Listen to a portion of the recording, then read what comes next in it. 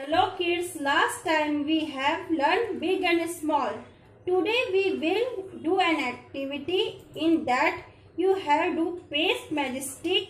So let's start. These are magic stick. This is a Fevicol. This is your activity sheet.